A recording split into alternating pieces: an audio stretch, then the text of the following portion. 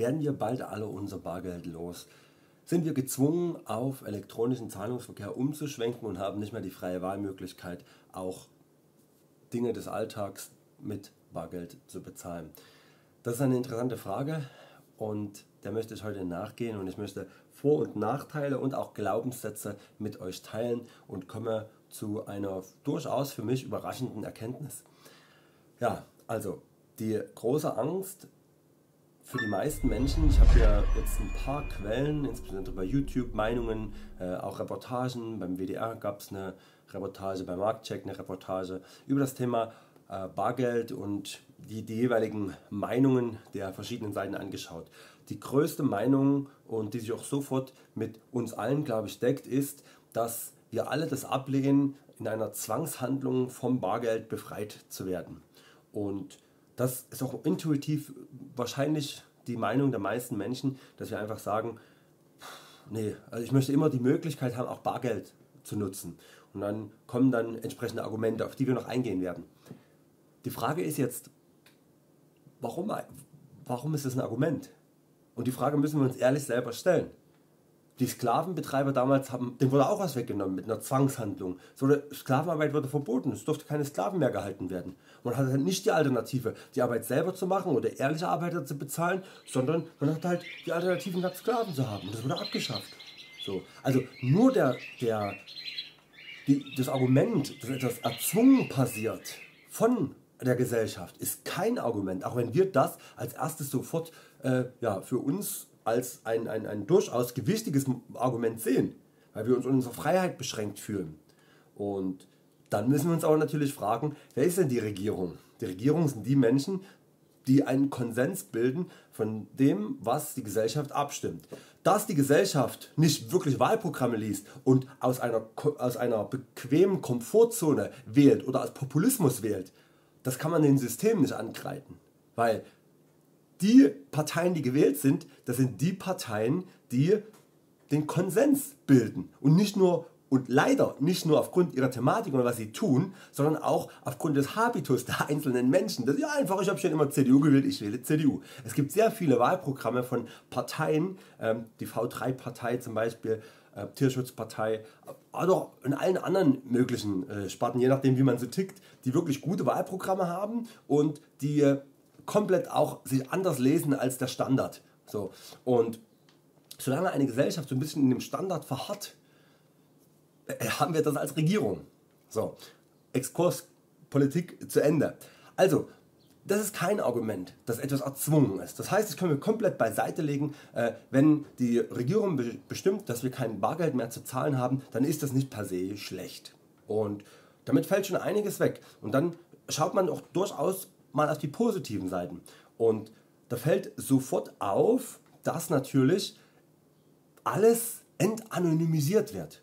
Bargeld ist anonym. Wenn ich Bargeld Paul gebe, hat Paul das Bargeld, aber keiner weiß, dass ich Paul das Bargeld gegeben habe. Und das schafft wiederum äh, viele, viele Vorteile. Ein auf der Hand liegender Vorteil ist, dass eine Gemeinschaft, also die Gemeinschaft der Menschen, ja gewisse Systeme erschaffen hat, um die Gemeinschaft zu schützen. Und auch wenn ich der Letzte bin, der diese Gemeinschaft, in der wir leben, ich grenze das jetzt mal auf Deutschland ein, aber wir können auch die Weltgemeinschaft sehen, je nachdem, äh, wie ihr das gerne mögt, der sagt trotzdem, es ist gut in einer Gemeinschaft zu leben und sich gegenseitig zu unterstützen, weil wir soziale Wesen sind. Das heißt nicht, dass diese Gesellschaft, diese, dieses System gut ist, aber grundsätzlich ist es gut, dass von der Gemeinschaft Systeme gebildet werden. Das passiert ja auch in alternativen Gemeinschaften auf dem Lande, alternativen Ökodörfern, ähnlichen, dass, dass diese Gemeinschaftsbildung nicht auch wirklich sehr wichtig ist. Und wenn wir, ja, wenn, wenn Geld anonym den Besitzer wechseln kann, dann torpediert es wahrscheinlich, oder eigentlich nein, es torpediert durch Schwarzarbeit, durch Kriminalität auf jeden Fall ein bestehendes System. Egal wie, ob das gut oder schlecht ist. Aber das kann nicht die Lösung sein. Äh, reine Individualität ohne den Gemeinschaftsgedanken, ohne, Gemeinschaft an einen, ohne gemeinschaftlich an einen, einen Strang zu ziehen mit Respekt. Und dazu zählt halt eben auch, dass man das System akzeptiert und respektiert. Genau wie ich das auch tue. Ich mag jetzt nicht Tiere essen, aber ich akzeptiere und respektiere, dass wir in einem solchen System leben und entsprechend natürlich auch die Menschen. Und so ist es wirklich ein Nachteil, dieser, diese Entanonymisierung des Geldes. Und das, wir kommen dann noch zum Datenschutz. Da muss man das auch differenziert betrachten. Aber erstmal aufgrund der, der Kriminalität ist es halt so eine Sache, ja, wenn alles elektronisch läuft, ist alles nachvollziehbar. So, und da sind wir auch bei dem Punkt Anonymisierung. Aber vielleicht kommen wir da, also Anonymisierung im Internet und Datenschutz, machen wir das jetzt gleich mit, damit es einfach so im Flow jetzt hier rausfließt. Also, mh, mm, das ist ein schwieriges Thema, Anonymisierung. Ich denke, dass der Wunsch nach Anonymisierung oft getragen ist von einer gewissen, einem gewissen Nicht im Reinen sein mit sich selbst. Also generell der Wunsch zur Anonymisierung. Er ist wahrscheinlich trotzdem sinnvoll, gerade in unserer heutigen Gesellschaft. Aber im Grunde genommen, wenn man wirklich selber zu allem steht, was man ist, was man tut und ja, einfach wirklich im Reinen mit sich selbst ist. Und das sind sehr viele Menschen nicht. Das fängt mit der Art ihrer Beziehung an, das geht über die berufliche Laufbahn, das geht über ja, Gedanken, die man hat, mit denen man sich nicht anfreunden kann, die man aber auch nicht hinterfragt und denen man nicht nachgeht, weil man denkt, dass man keine Zeit dafür hat. Und da ist so ein bisschen das Problem, dass man Privatsphäre fordert, weil man selber sich nicht so ja, ertragen kann oder der Öffentlichkeit zur Schau stellen möchte. Und weil man dann sich dahinter verstecken kann und sagen kann, okay, das ist ein Grundrecht nach Privatsphäre, das muss ich einfach haben, das ist ein gesellschaftliches Kulturgut und ja, das ist eine schöne Komfortzone.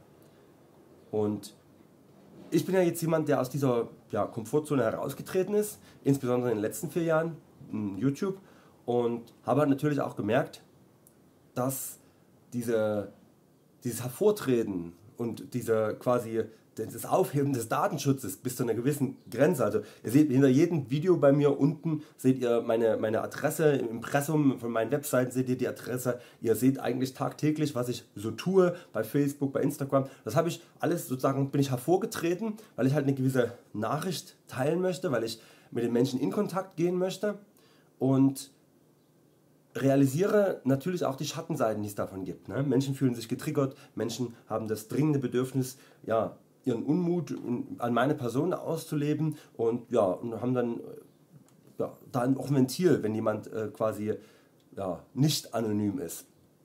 Aber wie wäre es denn, wenn nicht nur ich heraustrete, sondern die gesamte Gesellschaft quasi gezwungen ist, durch das Bargeld, durch die Auflösung des Bargelds herauszutreten. Wie wäre es denn, wenn man, bevor man, den, bevor man ins Internet geht, sich ganz klar identifiziert und dass jeder Besuch einer Internetseite ganz klar dokumentiert wird und ja, man genau das zuordnen kann. Da zwei Seiten. Einerseits, wenn es nur dokumentiert werden würde und im Falle eines, äh, ja, eines, eines entsprechenden Verhaltens, was der Gemeinschaft schadet ähm, oder was halt gegen den Konsens der aktuellen ja, Gemeinschaftsregierung ist, dann wäre das glaube ich ganz gut. Aber ja, solange wir in einer gesellschaftlichen, in einer, in einer geistigen Evolutionsstufe leben, wo auch viel ähm, ja, Missbrauch betrieben wird, wo man betrügen möchte, wo man manipulieren möchte, wo man intrigieren möchte, dann kann, können diese Daten natürlich auch genutzt werden. Und von daher ist Datenschutz in meiner Auffassung etwas anderes, als es in der Öffentlichkeit dargestellt wird. Der Datenschutz sollte so sein, dass die Daten geschützt werden. Datenschutz heutzutage wird interpretiert, dass man Daten nicht sammeln darf. Und das finde ich nicht gut. Ich finde gut, man darf, man sollte alle Daten sammeln. Man sollte wirklich das Leben eines Menschen in Idealform durchaus gläsern, digitalisieren, dürfen, wenn, und das ist das, woran es scheitert, es zu 100% gewährleistet ist, dass diese Daten nur dann ans Tageslicht kommen, wenn tatsächlich irgendetwas hm, ja, äh, passiert ist, wo dieser Mensch einen ähm, anderen Menschen geschadet hat oder wo er der Gemeinschaft bewusst schaden möchte. Also wo was nicht im Einklang ist mit Respekt, mit Demut, mit Liebe. So. Und selbst wenn das möglich wäre, so ist die Definition dessen, was gut und was schlecht ist und was, was, was Liebe ist, dann auch wieder eine andere. Und von daher verstehe ich das schon sehr gut und äh, bin auch an dem Punkt, dass der Mensch nicht gläsern, in der heutigen Zeit auf jeden Fall nicht gläsern sein sollte, aber im Idealzustand wäre das so. Und entsprechend finde ich diesen, diesen Ansatz, dass man Bargeld auflöst im Sinne der De-Anonymisierung schon durchaus im, ja, durchaus sinnvoll. Durchaus sinnvoll im Sinne der Gemeinschaft. Und das ist interessant, also das ist wirklich interessant und auch ein bisschen anders, als ich das vielleicht vermutet hätte. Des Weiteren ist noch positive Punkte, die dazukommen. So ein Zahlungsverkehr passiert viel schneller und effizienter, wenn man den bargeldlos äh, durchführt. Ich weiß nicht, wie das mit Ressourcen ist. Ähm, natürlich hält so eine so eine Geldkarte auch noch eine bestimmte Zeit und das ist auch wieder Ressourcen, die dafür verschwendet werden. Genauso werden Ressourcen verschwendet, um halt ja, das Papier herzustellen. Das Papier kostet ja Geld, äh, dann die Münzen, das Prägen, äh, die ganzen Maschinen. Aber was es nun hin und her ist, das kann ich nicht sagen. Aber was ich sagen kann, ist, dass es schneller und effizienter ist. Ein großer Punkt, der immer wieder kontrovers in die Debatte eingeführt wird, ist, dass man dass es quasi zwei Arten von Geld gibt. Einmal das Geld der, der Nationalbanken, der Bundesbank, was man dann als Bargeld dann hat und bezeichnet, und das digitalisierte Geld von den Privatbanken, die, wenn sie pleite gehen, dass das vielleicht dann auch irgendwie weg sein könnte. Das Bargeld dann hat man in der Hand. Und das ist eine Illusion, weil das Bargeld, was man in der Hand hat, hat keinen intrinsischen Wert, sondern der wird auch nur von der Bundesbank durch Wechselkurse, durch Politik festgelegt. Wenn aber das Bargeld wegfällt, so die Argumentation, dann fehlt dieser reale Wert, was kein realer Wert ist. Aber, und da kann man sogar noch eins draufsetzen, dann sollte man viel mehr darüber nachdenken, dass man eben normal das digitalisierte Geld hat und dann Dinge sein eigen nennt, reale Werte. Und das finde ich auch für die Bewusstheit so wichtig, dass man dann eben tatsächlich, wenn man das Bedürfnis hat und dem allen nicht traut, was ein gutes Recht ist und was sich auch erst unter Beweis stellen muss, inwieweit das System auch alles sicher ist, dann kann man in Gold, dann kann man in Diamanten, in Platin und was auch immer, in Gemälde, alles was einen Wert hat, kann man investieren bzw. kann man das kaufen. Und dann hat man halt ein Bann Gold statt halt äh, 100.000 Euro so auf dem Konto. Dann hat man halt, was man will, diesen realen Wert. Das kann man tun. Und das ist viel realer als das Bargeld. Also viele hängen noch so ein bisschen an dem Bargeld so aus einem, äh, aus einem Bewusstsein heraus, dass das irgendwie was Reales ist. Ach, das ist nichts Reales. So ein Papierschein, der ist nichts wert. Also zumindest oft nicht das, was da drauf steht. Sondern auch nur künstlich generiert. Und das ist ein bisschen Komfortzone, die da ganz, ganz, ganz, ganz groß mitspielt bei den meisten Argumenten. Und entsprechend muss ich sagen, ähm, auch wenn ich so rein intuitiv die Menschen, die für die eine Seite argumentieren und für die andere Seite argumentieren, höre, dann sehe ich auf der einen Seite sehr ein sehr breites Spektrum an Menschen, die sehr reflektiert, sehr ruhig und besonnen argumentieren. Und auf der anderen Seite sehe ich Menschen mit Angst in den Augen, Menschen mit Panik, Menschen, die ja, so ja, in die Richtung gehen, dass man äh, ja, diese Angst auch kultiviert, dass man, man weiß nie, was wirklich, wer die Fäden in der Hand hat. Man weiß nie, wer wirklich so, alles so ein bisschen in die Richtung Verschwörung und so. Und äh, das sind eher so, so die, Ängst, die, die, die, die Ängstlichen und äh, die ein ganz starkes Sicherheitsbedürfnis haben, obwohl sie nicht realisieren, dass es keine wirkliche Sicherheit gibt für keinen Menschen von uns.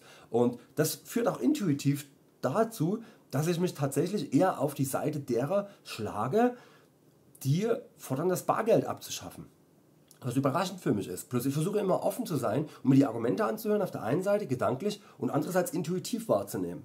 Und dann gibt es natürlich auch reale Beispiele wie das Land Schweden, das schon das Bargeld so gut wie abgeschafft hat und Schweden als Land und auch nicht nur was das Geldsystem angeht, auch die Bildung und die Menschen, das ist ein Land, wo ich auch intuitiv sage, ich glaube, die machen ganz schön viel richtig.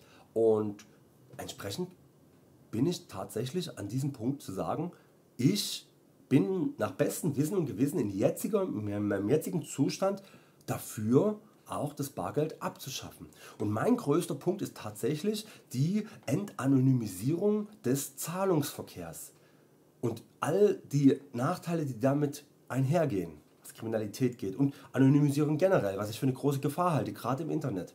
Und das geht ja nicht nur beim Bargeld los, geht ja auch bei, bei anderen Aktionen. Ne? Kinderpornografie, all die Sachen, die man im Internet teilen kann und Sachen, die man im Internet in irgendeiner Weise ja, vervielfältigen kann.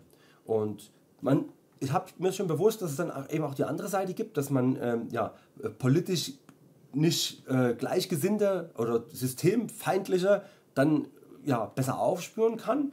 Deswegen ist es zum jetzigen Zeitpunkt noch nicht mit dieser Entanonymisierung im Internet, dieser kompletten Entanonymisierung, äh, ja, ist nicht möglich, weil es noch viel zu viele Länder gibt, wo halt kein äh, demokratisches System ist, kein ja, System, wo man merkt, okay, der Materialismus, der hat ausgedient, jetzt geht es nur noch darum, uns geistig weiterzuentwickeln, effizienter zu werden, sauberer zu werden, die Erde mehr wert zu schätzen, wie das in den in vielen industriellen Ländern, also als ja, als ganz starker Trend jetzt schon deutlich zu sehen ist, siehe auch der Trend der pflanzlichen Ernährung, der kommt ja nicht nur aus der gesundheitlichen Sparte, sondern gerade durch die ökologischen Erkenntnisse der letzten Jahre und Jahrzehnte hat man halt festgestellt, dass die pflanzliche äh, Ernährung eine alternativlose Ernährung ist für unseren Planeten und nicht nur für unsere Gesundheit.